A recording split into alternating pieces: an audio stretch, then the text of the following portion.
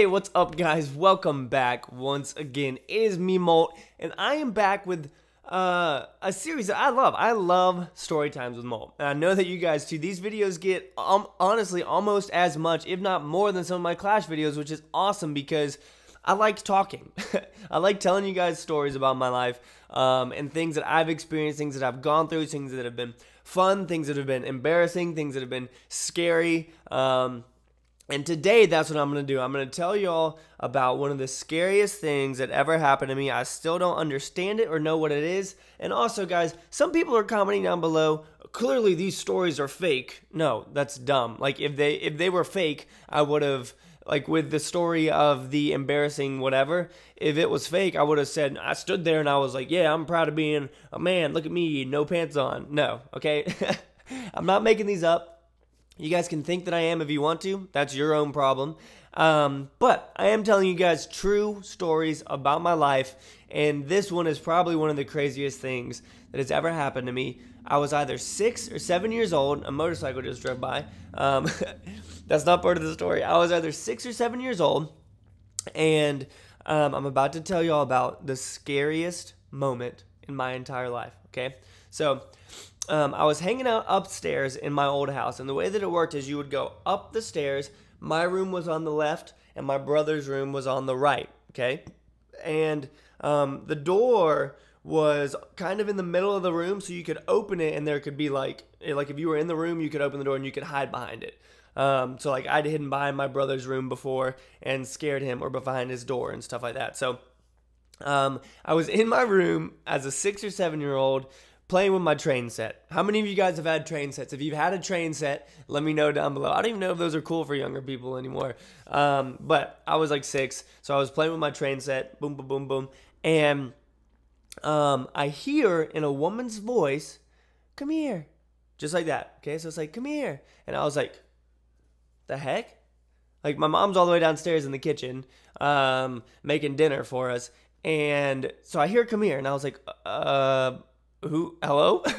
Who the heck just said come here? Um so i was like okay whatever. And so i keep on playing with my train set. Um it's going around and i hear it again and it sounds like it came from behind the door. So my door was open and there was like the corner of the room was behind it. So um, somebody could be behind the door is what my, my little six year old mind was thinking. So i walk over to the door and so say that i'm facing the door right now. Okay, you guys, and the door is going this way. So I walk over to it because I thought I heard here from behind it. I open it like this, so it blocks all of this out. Nothing is behind the door, obviously, and I close it, and then guess what I see? It freaks me out even now thinking about it. I see a super tall, ghost like figure standing in my brother's room. Okay. Um, I don't know if it was a ghost or if it was a demon, whatever it is. I don't know about um, that demonic kind of stuff. But I look over into my brother's room and it's this huge figure, probably like seven feet tall, just black and like flowy. Uh, looks as if it has like not blankets, but like a cloak or something on. And I just stare at it for a second and I start screaming at the top of my lungs for my sister who's on the second floor.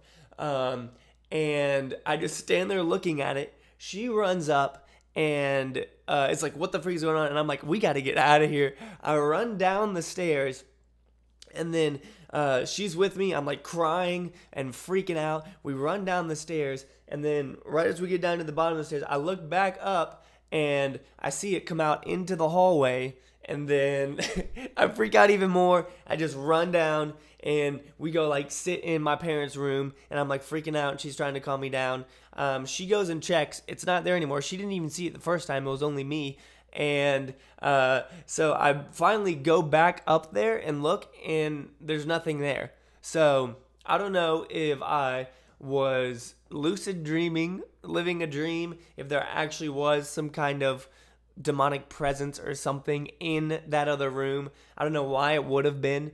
Um, but that is by far, guys, the scariest thing that has ever happened in my life. None of that is exaggeration. If I were to exaggerate it, I would say that it had red eyes and then it was going ooh, all that kind of stuff. I'm not exaggerating. That is a legit true story. Um, if you guys, because some of you probably have had experience with experiences with that kind of stuff.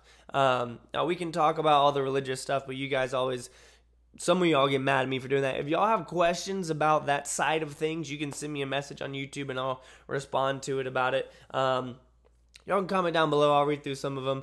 Uh, but if y'all have had that kind of experience, let me know down below as well. Um, I've had a couple later on in life as well that weren't as intense as that one. But that's the story, guys. I hope that y'all enjoyed. If you did, make sure y'all hit that like button and um, let me know what you want to hear in the next episode. So, so far we've done running from the cops, we've done most embarrassing moment, we've done saving a life, and now we've done the ghastly ghost story. All right.